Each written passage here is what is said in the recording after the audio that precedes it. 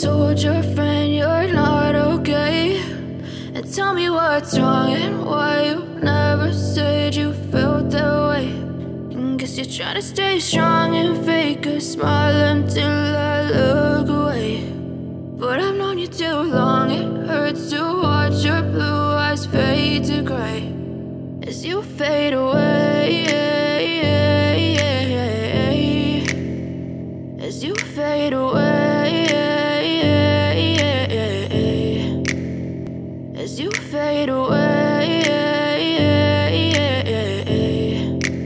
Hey guys, what's up? Hope you really enjoyed this introductional video. In this video, I'm trying to demonstrate you how you can use this amazing tool called Machina Fractal Essence, which is currently available on Marketplace Epic Games. You can go and you can buy it from here. And guys, you need to know about something most important things before purchase this. That is like they have already included nine levels in total nine different formulas. Each formulas can be animated separately.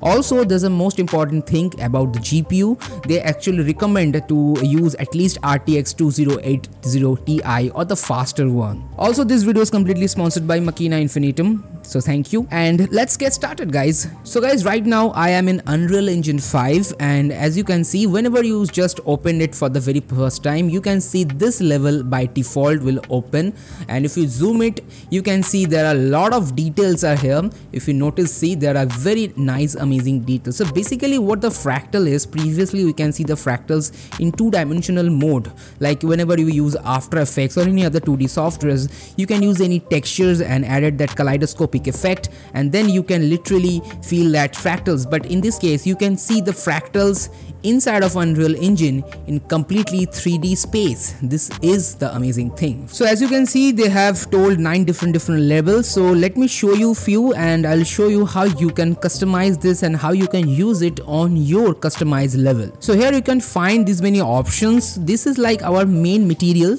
So this is called material instance. So whenever you select the main model base you can find this material over here. When you double click here the material settings will open up here. Whatever whatever changes you will do you can exactly see it here and also in real time here as well. So now you can see there's a call coloring emission fractal parameters and setting and general. So these are the basic parameters you have to control with the help of this. So starting with the colors you can see there are so many options like color presets periods and then minimum color iterations. There are so many things. Also you can see there are three textures are included. This is called triplanar mapping. If you want only separate texture you can do that as well. If you just just use this texture option turn on. You can put any texture over here. For the texture you can find out they have already added a texture button here. So just click and you can find there are so many textures here.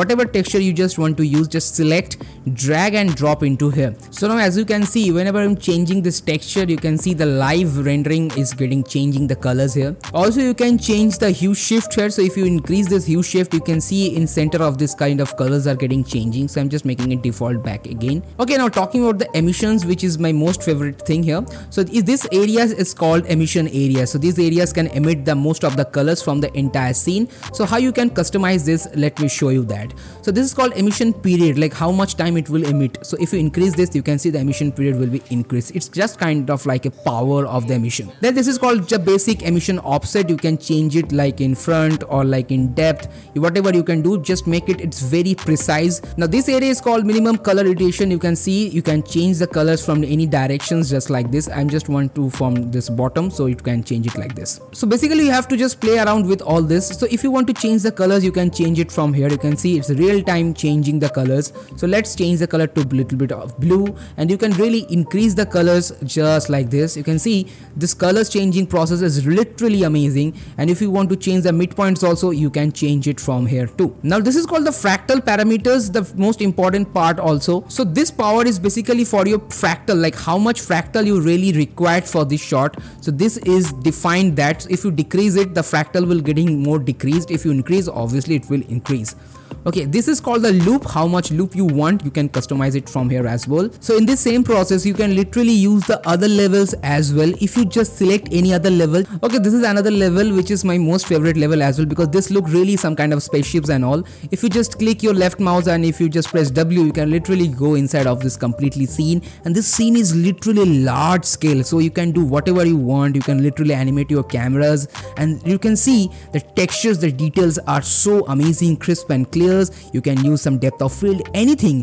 whatever you want to do so let me show you how you can animate this kind of things inside of the level sequence. So to animate this, first of all, you need to create a new add level sequence and here you can just make it to like render and then just press save. Now you can see this is called a level sequence. After that, if you want to animate this fractals, simply select drag and drop into this timeline. After that, you can find out this called track, select, you can find out static mesh component, select this. After that, you can find one more track, select and you can select this material parameters element 0. That's that's Now you can find out parameters panel where you can find there are so many controllers. Here I'll show you about the loop because this is the most easiest process to demonstrate. So just click this loop. Now you can find out automatically by default a keyframe is here.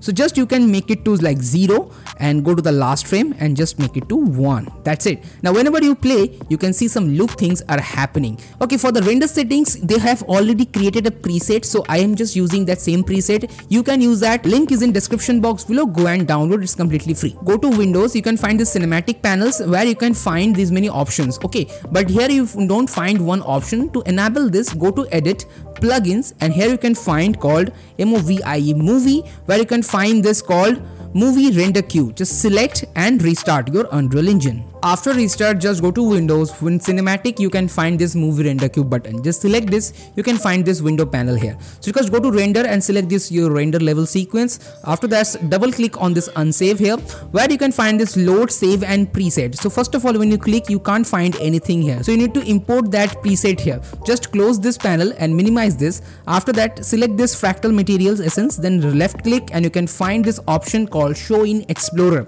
Just turn it on. You can find this browser now simply go to your downloads and just drag and drop that preset to here. That's it. So this preset it came up here. Just close this. You can find the preset is completely like this. Open this movie render queue and select this unsafe configuration. Load preset. Now you can find out this MMP render settings. Select this. You can find out this EXR. You can use this EXR as well, but I don't use this. I am using the JPEG sequence or like PNG. Just select the JPEG. After that, go to anti-aliasing. Now you can find out this is a sample which is 120. It is pretty high. If you have a good GPU you can use it. Otherwise you can decrease or else you can increase as well. So I'm using 64 because as they have told 64 is a good number and you will get a very proper output.